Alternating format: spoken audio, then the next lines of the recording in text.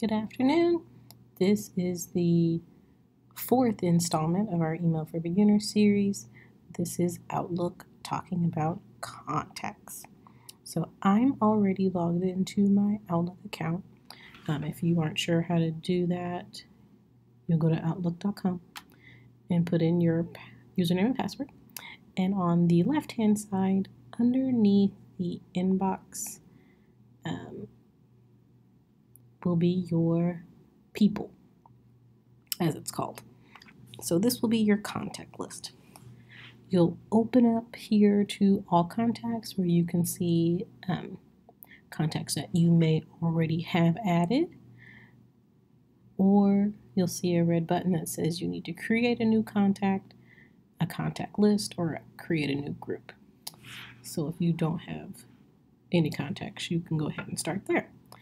You'll also have add to favorites, edit, delete, and add to list as options in the upper toolbar. And so you may see some lists here or you may not. Now on the right hand side is the manage option which will let you import contacts from your other email uh, accounts you may have or export so you can add these contacts to another non-Outlook account. Now on the left hand side in the menu here, there are folders that can drop down. You'll see my contacts has all contacts, all contact lists, a deleted section. Um, so we're starting in all contacts.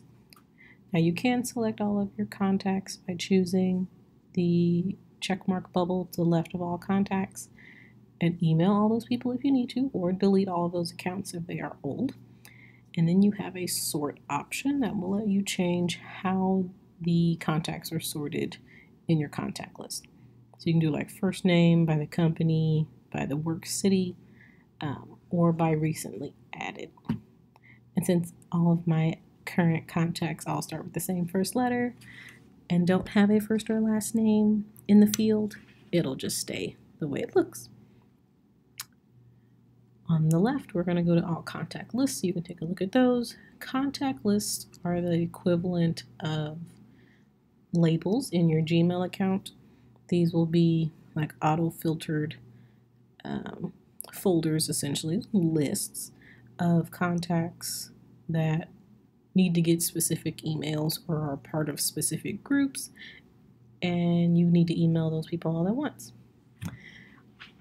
In the deleted section will be deleted contacts. So if you accidentally delete one, you can go in and restore it. And then below that, you'll have folders that you can add to do more organization uh, for your contact list. And then below that will be the groups section. Now in my all contacts, um, I'm looking at a contact here on the right hand side. It does not have a username or first name. And if you tap send email, it will open up a blank email for you to start where, let me move my screen down a little bit. It will autofill the email into the to section so that way you can start emailing that person. There we go. And then you'll have some headers for contact. Um, so this will just be the contact information files, so any correspondence that that person has sent um, to you, any emails that you have with you and that person, and then a section for um, linking their LinkedIn profile. And then you'll see in their email, it'll let you copy the email address if you need to paste it somewhere. If you have more information in this contact, um, you will see that copy option for like phone numbers and other email addresses as well. And then below you'll have any notes you have about that particular contact. Um, so who they are, what they do, where they're from. And then on the right hand side, you'll have an edit contact option. Now here you can fill in as much information as you need. Um, so you see I have the first and last name and the profile picture for this contact blank, but I have their email in. Um, and if that's all you have, then that's perfectly fine. And then if I look here under add more, it'll give me a pop-up menu and then some categories to choose from. So there's email address if you need to add another one, um, their chat if they need um, more than one name, more than one phone number, than one address. You can add all that information in here as you want. And so I don't have anything to add to this particular contact just yet. And so you'll see I can just go through here and click and then see the, as much information on the right hand side for each contact. And you'll have pretty much the same options for every email. Now if you want to create a new contact or a new contact list or a new group, you'll go to the new contact button. And I'm creating a new contact from scratch. And here I can put, like I said before, as much information as you want or that you have about that particular contact. So I'm going to fill this out here.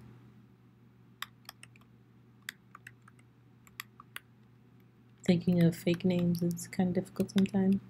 And making up fake numbers. If I ever put your number in here, my bad. Let me know. I'll take it out. Or your email. I'm trying to make them up as I go, but there's a chance with so many billions of people in the world Maybe someone does have that email or that phone number. I hope not. So I'm adding in a company here um, that I might have a business card for and want to put that as a contact in my email. And I'm going to add into the notes what this particular sales associate quoted to me for a tent I might be looking for because maybe I'm hosting a party. I don't have enough friends to fill a uh, weirdly shaped tent like that. And 450 for six hours seems a little bit like a ripoff, but you know, we don't have to contact him. That's okay. Now, if I want to add in more information, as in I want to add in, let's see, a business number for this person, I can go ahead and do that. So that way I have all of that information under this one, one contact for this one person. And then I will create it. And it's that simple. Now, instead of doing that, if you needed to import all of your contacts, say from your Gmail, this is where you'll want to export from your Gmail, then import it to your Outlook by clicking that Manage icon in the upper right hand corner. Or if you only have a few contacts, you can create them one by one. Now, unlike in Gmail, I didn't find a way to add in multiple email accounts all at once. Um, so you would have to do it manually. Now, if I wanted to add this email to favorites, edit it, delete it, add it to a list, um, I can do that as well. Now, back in my all contacts list, um, if I'm looking for that particular one I just added, I have it sorted by first name alphabetical. So there's that contact at the bottom. And since it's for my birthday party planning committee I'm doing, I can add that contact to the list. So I have all those vendors together in one contact list. As you see here, if I want to correspond with all of them all at the same time. So this saves me a little bit of time of having to look each of these people up individually by adding them to my email. I can just create a list for them, send them an email, and then save myself some time. Um, there are a couple things you can do once the email's here in the to field. You can delete that list by clicking the X. If you click on the name of it, you'll see it says send email. You're already doing that. But you can also schedule a meeting. Or you can add extra contacts to it, but there's also an option to expand the list so you can see who's in that list in case someone needs to be taken out in the email portion. So you'll see I have the four contacts that were part of that list. And if I want to CC or BCC anyone, I can do that or add any more contacts. Um, you can use what's in the suggested um, pop up if you have that turned on in your settings. Um, or you can just type in that person's email um, if you don't see them there. Or you can click on the CC and to buttons to pull up your contact list to add those recipients to those fields. And so this will show your whole contacts list where you can pick the list or the um, other contacts you need to add. And then you'll just click on their names and they'll show up in that section and then you'll save it. So you'll see it auto-filled it in for me. And I didn't have to type any of those one, two, three, four, five, six, seven, eight emails. So we're doing pretty good. Now I'm filling out the information I need to fill out, my subject, and then I can start typing in the body of my email. I can attach files that, that'll be um, sent to all these people. I can upload them from my computer, or I can use some of the suggested ones. Um, I don't know why these are here, but they're suggested, so I'm just going to go ahead and add them. And then they'll all see the attachments. And then I'm going to discard because all these emails are fake. And, well, all of the top ones are fake and I'll get a lot of rejection emails. Now in the more menu at the top, you do have the option to set the importance if it's something, if you're contacting a list of people and it's urgent, you can set the importance, um, put in your signature, anything you need to do to save you some time, sending it to all of these people. So I'm going to discard Yes, it's okay if it's discarded. And go back to my email. So some of the emails in my um, birthday planning committee, if I need to add more people, I can click the edit option and add those people or remove them. If this person has a new email address or something, I'd have to remove them here and then add a new one uh, or add that new updated contact into the planning committee list or if I need to add a description to this list about what it's for, so any information about who these people are, I can fill out that information too. Now, some of these contacts in this list as well, I have deleted as contacts, but since those people are still on my list, it'll still send them an email. They're just not part of my contact list.